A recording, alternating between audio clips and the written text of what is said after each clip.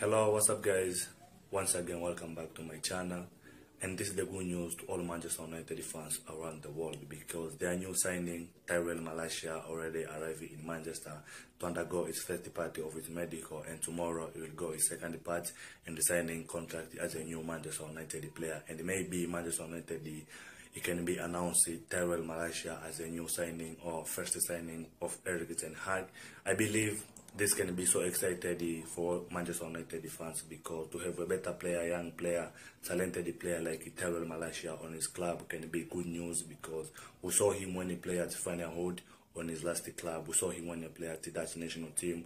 He's still a young, but what he did every on the pitch, he just outstanding, guys. He can did everything on the pitch to help a team to get the result. He can cross, he can defend, he can attack, and I believe this can be the good replacement for Luke Shaw in the left back. But all in all, I wish Manchester United to signing the better player, young player like what Erik Ten Hag need because we saw link up with a different player like Antony from Ajax, Lisandro Martinez from Ajax, Frenkie de Jong from Barcelona, and I believe if Erik Ten Hag can get all of this player, he can did everything on the pitch or can did everything for the next season for Manchester United to end up with at least one trophy or to finish in Champions League.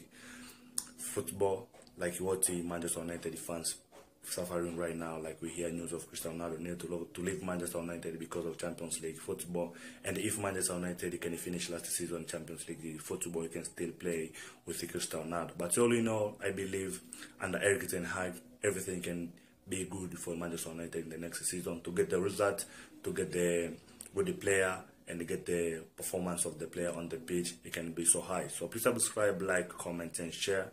Don't forget to notification on for my daily updates. Ciao guys, enjoy my daily video. Peace out.